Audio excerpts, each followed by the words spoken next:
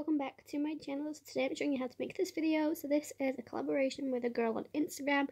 I've linked her Instagram in my description for you guys. So we decided on using the My Favorite Things Big Balloon stencil. So we're both going to be using this, creating a different card. So I went to make a card for my granddad. So this is the Granddad Relaxing by Wild Rose Designs. And basically I'm going to be stamping the image onto my card with the sentiment. So it says happy birthday granddad and I'm going to mask that off. So everything I used is in my description for you guys. So basically the girl that got in contact with me, she asked if we could do a collaboration in some way. And when I hear the word collaboration, sometimes I do panic and I think everybody does at some stage.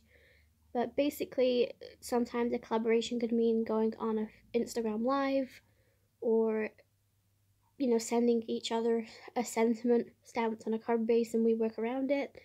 Um, so she said she didn't know which way she wanted to do a collaboration so we decided to find something we both had in our supplies and this is the first thing that i thought of.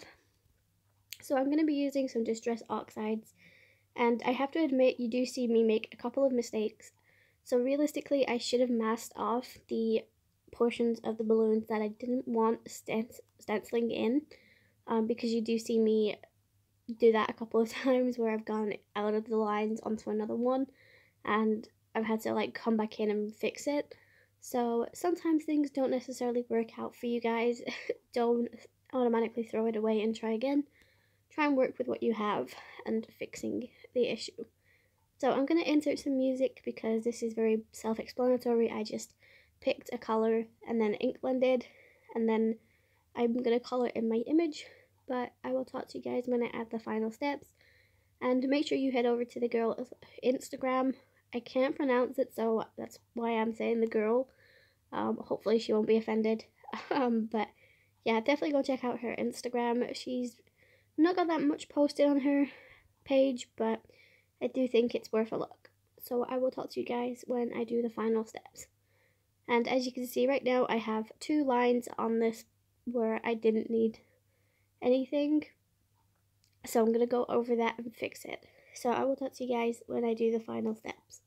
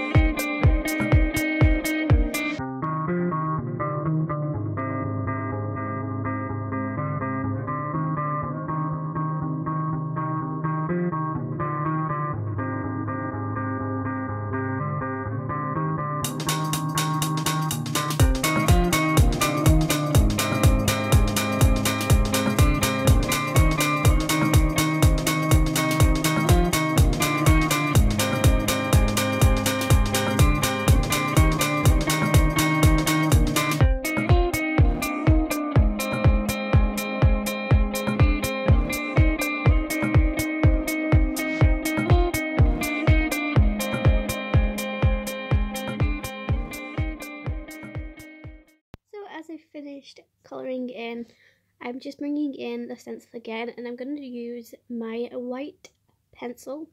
Um, so I got this from the range and basically it's just a white crayon. Um, but sometimes you can buy white crayons and they don't leave a mark and it can be quite frustrating. So I'm using the stencil with the highlighting for the balloons and I'm just basically going over that with that crayon. And I just think it adds that final detail. And then I did bring in Wink of Stella, added some to the book pages and also his hair, so it kind of looks like he's like got silvery hair, if that makes sense. And I did also bring in glossy accents for the glasses and the liquid inside the mug. And the last thing I did is I added some moonstones by Little Things by Lucy's to add some dimension to the card. And I think it turned out really great. It's not my favourite card, I do have to admit. But in the time frame I had to make this card, I think it was definitely worth trying. And I do like the look of it. It just, I don't know, it doesn't scream amazing to me. So maybe I should remake a card, something similar. But yeah, that's it for the video guys. Make sure you go and head over to my Instagram and follow the girl that I mentioned. And then also, if you guys want to do a collaboration too, let me know down in my comments or message me on Instagram. Like she, like the other girl there because that's the best way to get in contact with me, I have to admit. So everything I used is linked in my description as always. And until the next video guys, stay safe and happy crafting.